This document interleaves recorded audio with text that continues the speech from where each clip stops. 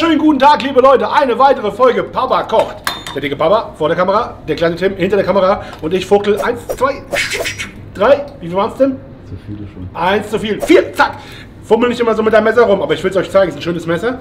Nein, Spaß beiseite. Das ist keine Werbesendung. Wir kochen heute was Geiles. Und zwar machen wir ähm, Chinese Barbecue Pork. Und ich habe es hier. Guck mal. Das ist ein Schweinenacken. Da haben wir uns schöne Scheibchen rausgeschnitten. Mitten schön aus der Mitte raus. Und daraus machen wir uns jetzt äh, ja, Chinese Barbecue Pork. Und dazu so ein bisschen Fried Rice, weil wir haben Reis übrig. Und äh, irgendwas muss man dazu essen. Ne? Und ich zeige euch jetzt mal eine schnelle Variante, ohne lange marinieren und allem drum und dran. Ähm, in der Pfanne zu Hause und im Backofen wie das zügig geht und gut schmeckt. Vielen herzlichen Dank erstmal fürs Zuschauen, von Anfang an schon mal. Ähm, wenn ihr gerade Zeit habt, mir zuzugucken, dann könnt ihr natürlich auch mit der Maus oder mit dem Finger mal da unten auf Abonnieren klicken. Das kostet nämlich nichts, für uns bedeutet es die Welt und wir freuen uns sehr darüber. Ja, damit können wir mal anfangen. Wir marinieren zuerst mal so ein bisschen das Fleisch und zwar geht da so ein bisschen brauner Zucker drauf, weil wir da Karamell außenrum haben wollen. Nicht viel, aber schon ein bisschen was. Und wenn wir das dann gleich anbraten, dann macht das schon mal eine schöne Kruste. Das ist schon mal viel wert. Da lassen wir schon mal so ein bisschen arbeiten. Dazu geht dann ein bisschen Salz. Und ich mache bewusst keine ähm, großen Mengenangaben jetzt hier. Ihr seht es ja, was ich da verwende, weil es äh, ist halt, ja, wie soll ich sagen, jedes Stück Fleisch ist anders. Gell? Deswegen macht es keinen Sinn, euch da zu sagen, für so und so viel brauchst du so viel. Es kommt an, was du für ein Salz nimmst, was nimmst für einen Zucker und, und, und. Orientiert euch so ein bisschen daran, übertreibt es nicht ja, mit Salz und Zucker. Ihr seht jetzt, was hier gerade passiert. Da habe ich gerade den Zucker draufgelegt. Das Fleisch fängt direkt an zu schwitzen. Das heißt, die Oberfläche vom Fleisch fängt jetzt schon an, die Gewürze aufzunehmen. Mit Salz und Zucker aktivieren wir das quasi, dass es aufnahmebereit ist. Das ist doch schon mal sehr, sehr gut. Ja. Dann geht es weiter. Five Spice Powder, chinesisches, fünf Gewürze. Auch schön von oben locker drauf. Da musst du halt aufpassen, ne? ruckzuck ist das mal zu viel. Aber dieser Geruch, der hier aufsteigt, ne? das ist so dieser typische, das ist halt so die universelle Gewürzmischung. Ne? Five Spice, perfekt. Kriegt man übrigens im Asialaden, wenn man jetzt, äh, wenn die Frage vorherrscht, wo kriege ich das geile Zeug her? Einfach im Asialaden checken. Ich glaube, bei uns im Shop gibt es das auch, ne, Timmy? Hin und wieder. Ja, guckt mal. Ähm, ansonsten habe ich ein Video gemacht mit den wichtigsten Produkten, die du brauchst. Das kann der Tim euch hier oben mal einblenden. Ähm, da sind alle Produkte, Soßen und so weiter drin, die man braucht, wenn man so ein bisschen ambitioniert asiatisch kochen möchte zu Hause. Ja? So, jetzt mache ich auch noch so ein bisschen geschroteten Pfeffer oben drauf. Das beißt sich nachher schön, ne? wenn du da drauf beißt, hast du immer so ein bisschen Bip. Guck mal hier, Pfefferchen, dies, das. Ja? Der verbrennt auch nicht, weil jetzt gleich noch ein bisschen Marinade dran kommt. Da gibt es erstmal keine Probleme und im Ofen passiert nachher auch gar nichts. Wir fangen nämlich an mit der Grillpfanne hier drüben und danach geht es in den Ofen ein bisschen abgedeckt in so einem, ja, in so einem leichten ähm, Schmorfond, den wir da noch machen werden. So, jetzt äh, würde ich äh, da hinzugeben schon mal ein bisschen Sesamöl. Wirklich nicht viel. Das reiben wir jetzt ein bisschen aus. Ein geröstetes Sesamöl, das ist eigentlich nicht dafür geeignet, ähm, ja, wie soll ich sagen, das darin anzubraten. Das sollst du eigentlich nicht machen, das verbrennt dann. Aber um das hier zu parfümieren, wenn ihr riechen könnt, was jetzt hier gerade für eine, ja, für eine, für ein Aroma jetzt schon aufsteigt, ne, von diesem gerösteten geilen Sesamöl, das ist der absolute Hit. So, jetzt kommt hier drauf ein kleines bisschen Honig noch. Der ist jetzt sehr kalt hier, aber ich schmier mir den. Ah, guck mal, hier lässt sich gar nicht schmieren so richtig. Aber das ist nicht so schlimm. Da kommt überall so ein bisschen Honig drauf. Vielleicht habt ihr einen flüssigeren, schöneren Honig als ich. Aber das hat sich gleich erledigt, sobald es in der Pfanne warm wird. Zieht er sich überall dran, weil wir braten nämlich ganz locker an. Das ist gar kein Problem. So, hinzu kommt chinesischer Kochwein, ein paar Spritzer, viel mehr braucht es da gar nicht. Einfach schön damit so ein bisschen, guck mal, jetzt wird es auch mit dem Honig was. Da überall so ein bisschen drin ist. Ah, das ist gut. So, jetzt haben wir hier kaum Flüssigkeit unten drin, ja? Ihr seht es ja hier, das ist eigentlich nur so ein bisschen was vom Wein. So, und jetzt könnt ihr das Fleisch eigentlich so, wie es jetzt ist, so ein bisschen liegen lassen und marinieren. Müsst es aber nicht. Ich zeige euch, wie wir gleich damit anfangen. Und zwar machen wir die Pfanne so ein bisschen auf leichte Hitze, geben da noch ein bisschen Fett unten rein und bloß nicht ausrasten bei der Hitze. Ne? Da kommt frisch den Honig und den braunen Zucker, krustet ganz automatisch jetzt. Und dann legen wir das mal hier rein und lassen das entspannt und vorsichtig braten. Hier geht es nämlich um eine schöne lange Garzeit. Da brauchen wir am Anfang nicht so viel Gas zu geben. Das gibt ganz automatisch eine geile Kruste. Das hier heben wir uns auf, da machen wir jetzt nämlich gleich die Soße rein, die wir hier drauf gießen. Ähm, das können wir jetzt auch gerade schon machen. Und zwar geht es damit los mit, ich muss gerade Sojasauce holen, bin gleich wieder. Da ist die Sojasauce. Damit geht es nämlich jetzt los. Jetzt machen wir mal in Esslöffel, damit ihr mitzählen könnt, ja? Und zwar erstmal vier Stück davon. Drei, vier schöne Esslöffel. Dann chinesischer Kochwein. Davon gibt es zwei Esslöffel. Nicht übertreiben damit, der ist krass im Geschmack. So, oder? Dann machen wir da rein süße Sojasauce.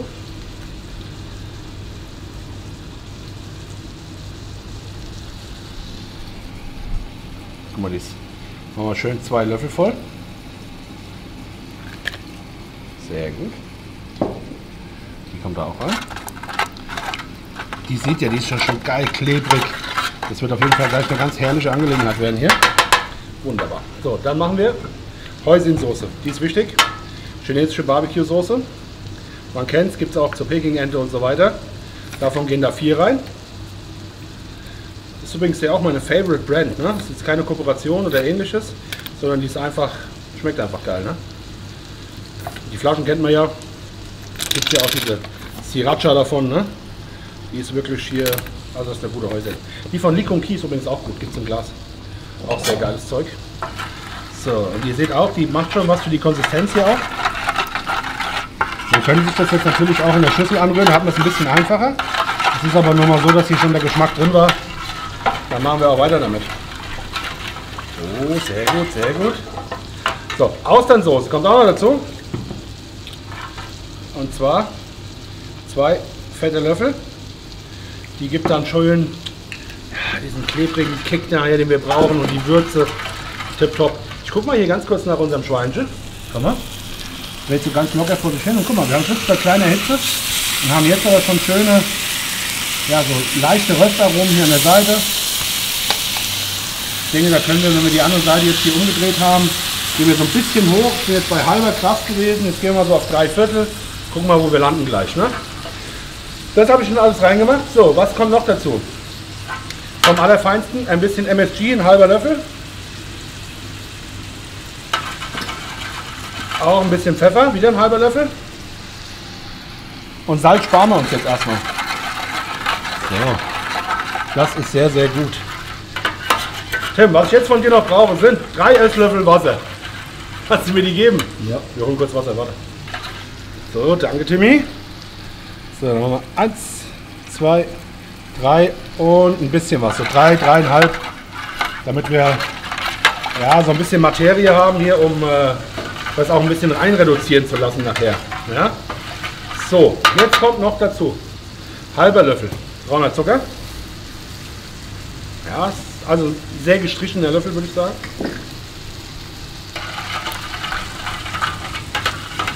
Damit. Perfekt. Genau so soll es sein. Jetzt fehlt uns noch ein bisschen was Frisches. Ich stelle es mal hier runter. Und zwar habe ich hier ein bisschen Ingwer. Den hacken wir uns da so ein bisschen zusammen. Und guck mal, diese, diese Barbecue-Soße ist ja so eine süß-klebrige Soße. Ne? Das ist das, was du dann nachher haben willst. Ähm, ich, man kann sich das aber auch ein bisschen pikant machen. Also entweder hackst du dir ein bisschen Chili oder Pepperoni mit rein. Das finde ich schon ganz okay. Oder du machst so eine eingelegte Chili-Paste mit drauf oder eine Hot Soße oder wie auch immer. Ja, jetzt gibt es noch ein bisschen Knoblauch dazu. Der geht mit zum Ingwer.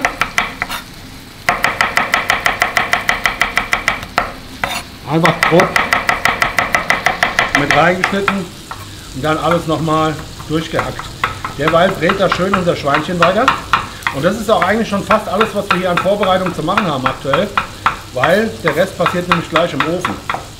Und da habt ihr die Zeit, ähm, den Reis vorzubereiten quasi, wenn ihr dazu Fried Rice machen wollt oder einfach irgendwie ein paar gebratene Nudeln oder irgendwas. Gebratene Nudelvideo könnten wir eigentlich auch nochmal einblenden. Ne? Das ist nämlich unser, unser erfolgreichstes Video. Könnt ihr mal gucken. Passt natürlich hier auch so ein Schweinchen hervorragend dazu. So, das hier geht da rein. Und dann nehmen wir heute mal als Teaser für euch unsere Barrel Bomb Hot Sauce. Aktuell noch nicht auf dem Markt erhältlich, ist unsere selbstproduzierte ähm, Chili Soße. Passt natürlich hervorragend dahin. Ja, nur beste Zutaten, auch einen guten Esslöffel voll mit rein. Das Ding ist, die ist gar nicht so super scharf, die schmeckt einfach nur geil. Deswegen freue ich mich darüber. So, Szechuan Pfefferkörner nehme ich noch zwei, drei Stück. Oder fünf bis sechs Stück. Nein, hier, so guck mal, so ein Teelöffel voll Szechuan Pfefferkorns. Die hauen wir uns hier mit dem Messerrücken so ein bisschen an, damit die aufplatzen. Die gehen hier auch mit rein. Szechuan Pfeffer hat natürlich den großen Vorteil, ne? Ähm, der gibt halt einen super geilen Geschmack ab. Und wenn du, ja, wenn du diesen Szechuan Pfeffer auf der Zunge hast, dann bitzelt es und dann wird dein, dein Mund so ein bisschen taub. Und, also ist eine, ist eine geile Sache. Ähm, sag mal, in der Menge hier absolut überschaubar. So, hier drüben rieche ich schon, dass es gut wird. Wir drehen nochmal. Guck mal hier. Das ist das, was du haben willst. Ne? In der Mitte ist natürlich ein bisschen heißer. Das muss ich so ein bisschen hin und her schaffen. Und dann beim Zucker und bei dem Honig und so, da musst du echt aufpassen. Ruckzuck ist das zu schwarz. Deswegen gut aufpassen, ein bisschen Temperatur wieder runternehmen. Das hier ist schon absolut geil, so muss es sein. Ja? So, Soße ist auch angerührt. Stellen wir uns auf die Seite. Liebe Leute, wir braten es jetzt fertig und dann sehen wir uns gleich, wenn die Soße drauf kommt. Okay Leute, schau mal hier. Jetzt haben wir es rundherum schön angebraten. So goldgelb, hat so ein bisschen ja, schöne Grill und ja, keine Ahnung, so Grillstreifen und so ein bisschen nett gemacht einfach. Ne? Sieht geil aus. So, jetzt haben wir die Pfanne hier wirklich auf Halbgas. Ne? Und dann gehen wir mal hin mit unserer Soße. Und dann schütten wir das hier mal schön oben drüber. Am besten hier mit so einer mit so einem Spatel da alles rausholen, ne? dass wir auch den ganzen Zucker und alles erwischt haben, den restlichen Honig. Wunderbar. So, und dann kochen wir das damit jetzt einmal auf. Und haben die Möglichkeit, das ist doch geil, guck mal, der Knoblauch, alles drin, Ingwer. Das kochen wir jetzt einmal auf damit, dann lösen wir nämlich auch so ein bisschen den Bratensatz, den wir jetzt in der Pfanne haben. Und wenn das die richtige Temperatur hat, schieben wir das in den Ofen. Das muss jetzt hier gar nicht großartig reduzieren oder so, das können wir uns nachher machen, wenn es nicht passt.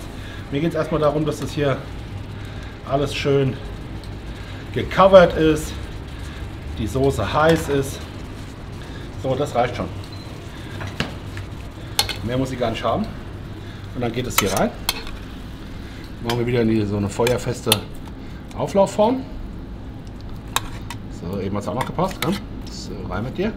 Und dann die Soße schön oben drüber.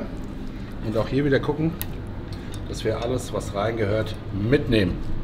Das geht jetzt bei 180 Grad in den Ofen. Ich äh, mache jetzt noch ein bisschen Alufolie drüber. 180 Grad in den Ofen. Und ich sage mal, da können wir das gut für ein Stündchen, können wir das vergessen. Das mache ich jetzt und dann sehen wir uns gleich wieder zum Gemüseschnibbeln. Ja?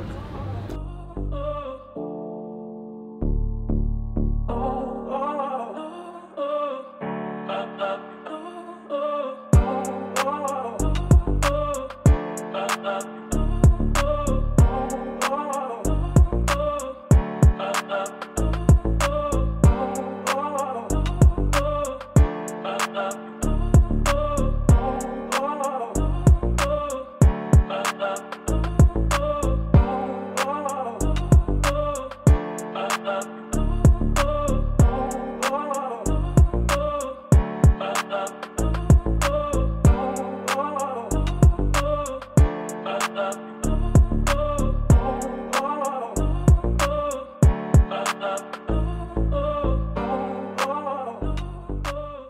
jetzt habe ich hier das ganze Gemüse für unseren Reis schon mal geschnippelt und so ein Gürkchen zur Deko und so weiter und so fort. Und dann habe ich noch so einen viertelsten Kopf Kraut gefunden. Ne?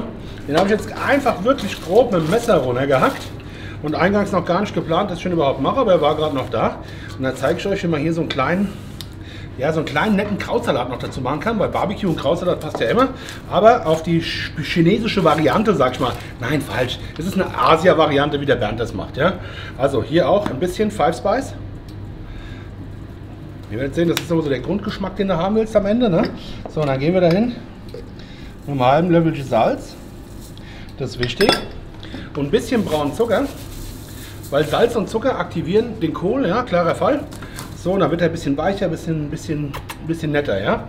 Und auch hier geht ein kleines Löffelchen ja, MSG mit dran. Ja, nicht ganz, ne? so ganz gestrichen. Ein bisschen Pfeffer. Schmeckt einfach gut. Ne? Und ich habe mir hier so ein bisschen Kurkuma geholt. Da machen wir uns so eine nette Farbe draus. Ne? Damit er so ein bisschen, ja, bisschen schöne Farbe kriegt. Ist total ähm, gesund und schmeckt auch geil. So, das rühren wir jetzt erst einmal durch. Und ihr hört es ja, ne? da kannst du ruhig richtig grob hingehen. Also das ist das, was du willst. Und das ist ja wirklich mit dem Messer runtergehackt. Ne? Das kann man natürlich feiner machen mit der Mandoline oder wie auch immer. Aber ich will einfach so ein Löffelchen Kraut dazu, so ein bisschen süß-sauer an der Seite. Ich finde, das passt sehr, sehr gut dazu. Und ihr seht ja hier schon durch den, ja, durch den äh, Kurkuma kriegen wir da auf jeden Fall schon so eine gewisse gelbe Farbe rein. Ne? So, jetzt machen wir hier direkt noch so ein bisschen Reisessig drauf. Gerade so ein gutes Schlückchen. Ja? Und ich mache auch ein bisschen Sesamöl. So, und jetzt ist es tatsächlich gar nichts mehr Chinesisches oder ähnliches, sondern es ist einfach nur lecker mit asiatischen Aromen. Ein Krautsalat, der gut zur Seite passt. Und das hat jetzt gedauert, keine Ahnung, anderthalb Minuten. Ne? Den lassen wir jetzt so lange ziehen, bis das Schwein fertig ist. Und dann schmecken wir den nochmal ab zusammen. So Leute, das Schweinchen nähert sich dem Ende, habe ich gesehen gerade. Das ist auf jeden Fall für uns der Zeitpunkt, wo wir schon mal ein bisschen Reis vorbereiten werden. Und das ist ganz einfach. Fried Rice, guckt zu, so läuft's. Ein bisschen Fett in die Pfanne. Dann haben wir Reis im Idealfall vom Vortag. Ich habe jetzt hier so ein, ja tatsächlich so ein Parboiled-Reis. Da könnt ihr am Ende nehmen, was gerade da ist. Außer ein Rundkornreis, das würde ich jetzt nicht unbedingt empfehlen. Ja. Und da machen wir so einen schönen Eierreis dazu. Und das Wichtigste ist, und das war ja, auf jeden Fall der Lifehack schlechthin, auf jeden Fall, immer zuerst die Eier in die Pfanne. Das ist das Wichtigste. Machen wir mal zwei Stück. Und dann gucken wir mal wo die gleich am Anfang hier so kaputt machen und so Flakes drin haben. Ja, wunderbar, so geht es nämlich los. Das ist das Wichtigste. Wenn man das nachher reinmacht, dann wird das so, ja, keine Ahnung, eine cremige Variante vom Reis. Und das will man ja auf jeden Fall nicht. Da wird ja so ein bisschen gebratenen Reis. Ne? So, jetzt sind wir an dem Punkt, wo auch schon der Reis dazu kommt.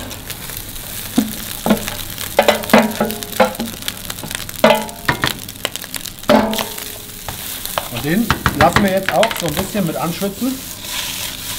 So dass der, wenn da ein bisschen Öl fehlt, ne? das, muss so, das muss schon so ein bisschen, ja, ihr hört das, hört das jetzt? Guck mal, schon mal ein bisschen Öl rein und schon geht's los, ja? Das ist das, was wir brauchen. Der soll jetzt hier so ein bisschen mit, ja, angebraten werden, ist ja gebratener Reis immerhin. Und da sind wir auch schon an dem Punkt, wo alles an Gemüse mit reinkommt, was ich hier habe. Das kann dann nämlich jetzt schön mit schwitzen und braten. Zwiebelchen, Karotten, Ingwer, Knoblauch habe ich drin und ein bisschen Mais vom Kolben geschnitten. Und guck mal, das sieht doch jetzt schon herrlich aus, ne? So, das lassen wir jetzt ein bisschen anschwitzen. Und dann hauen wir uns in der Zeit schon mal die Gewürze ran. Und zwar, es gibt wie immer ein bisschen Pfeffer. Einfach Nachgeschmack, ne? wie ihr es wollt, wie ihr Bock drauf habt. Würzen, Salz. Schön verteilen. Dann wie immer ein bisschen was vom guten MSG. Ich finde beim gebratenen Reis, gebratene Nudeln elementar. Wenn ihr keinen Bock drauf habt, ihr fragt in den Kommentaren immer, wenn ich es nicht will oder wie auch immer, einfach weglassen. Ja? Schmeckt halt nicht ganz so geil. So, Five Spice. Auch wieder oben drauf für den schönen Geschmack. Und dann, ah, sehr gut. Guck mal, und jetzt, ihr merkt schon, ne? Allein durch das Preispreis, dass das jetzt gerade warm wird, da geht schon so richtig zur Sache. Und das ist unser schöner gebratener Reis, der hier gerade schön vor sich hin brutzelt. So, das lassen wir jetzt noch einen Augenblick und dann kommen noch ein paar Söschen dran, dann ist der auch schon fertig. Aber so lange braucht ihr nicht zugucken. Dauert noch einen Moment. So Leute, schau mal hier. So geil sieht das jetzt aus. Jetzt sind wir an dem Punkt, wo wir noch ein paar Erbsen mit reinmachen. Erbsen können immer ein bisschen ja, zum Garzeitende hinzukommen. Ich stehe voll drauf. Einfach ein paar Tiefkühlerbsen habe ich immer da. Ja. So, jetzt sind wir da. Guck mal, das sieht, jetzt das sieht das schon gut aus, ne? Aber ihm fehlt noch so ein bisschen Farbe und ein bisschen Geschmack und ein bisschen hier und ein bisschen da. So, jetzt gibt es hier einen halben Löffel von der süßen Sojasauce. Dann gibt es einen halben Löffel oder einen ganzen Löffel machen wir da von der richtigen Sojasauce. Und dann gibt es noch ein Löffelchen Austernsoße. So, oder? Und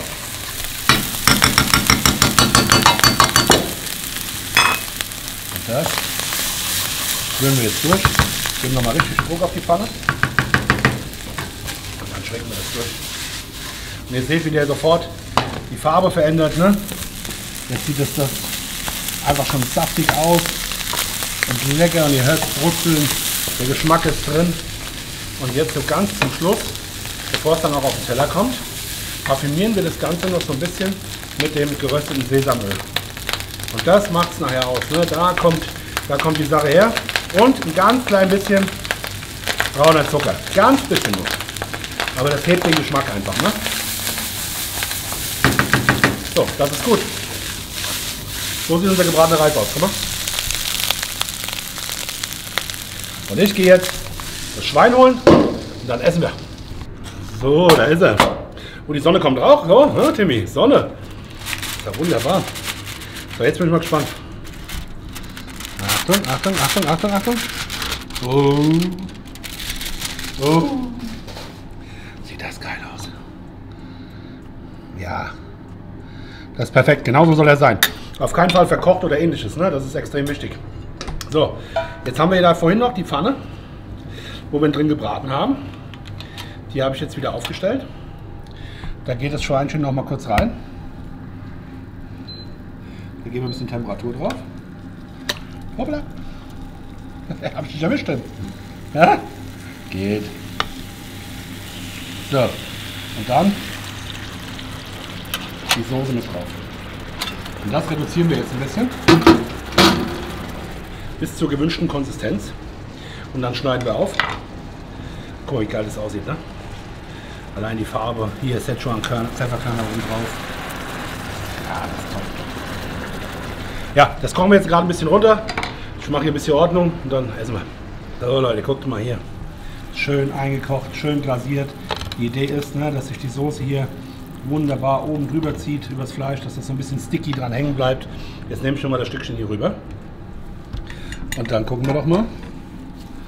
Ah, das sieht schon sehr, sehr gut aus, wenn ihr mich fragt. Ne? Und es riecht natürlich noch besser.